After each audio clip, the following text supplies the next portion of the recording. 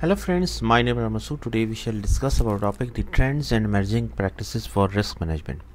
Friend, today's topic is very very interesting, especially if you have interest in project management or you are planning to give exam or PMP in near future. So let's start. First of all, I would request to please subscribe to my YouTube channel and click on the bell option as well, so that my new videos can reach to you. Friend, the focus of project risk management is broadening to ensure that all types of risk are considered and that project risks are understood in a wider context.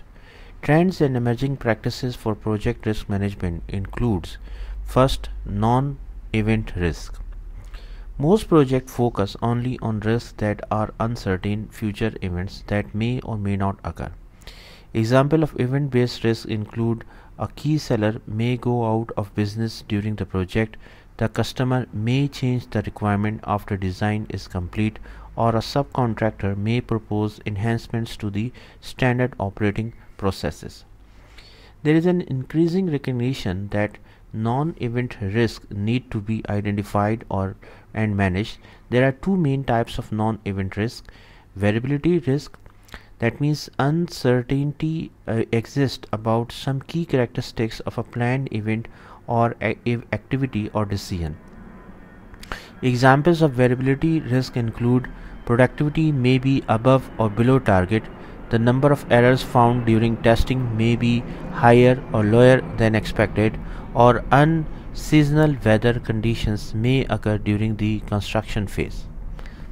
The and, and second type is the ambiguity risk uncertainty exists about what might happen in the future areas of project where the imperfect knowledge might affect the project's ability to achieve its objectives include elements of the requirement or technical solution future developments in regulatory frameworks or inherent systematic complexity in the project. Next is the project resilience the existence of emergent risk is becoming clear with a growing awareness of so-called unknowable unknowns. These are risks that can only be recognized after they have occurred. Emergent risk can be uh, tackled through developing project resilience. Now, the integrated risk management. Project exists in an organizational context and they may form part of a program or portfolio. Risk exists at each of these levels and risk should be owned and managed at the appropriate level. Some risk identified at higher levels will be delegated to the project team for management and some project risk may be escalated to higher levels if they are best managed outside the project.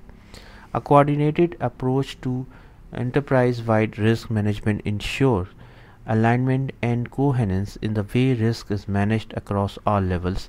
This built risk efficiency into the structure of a program and portfolios, providing the greatest overall value for a given level of risk exposure.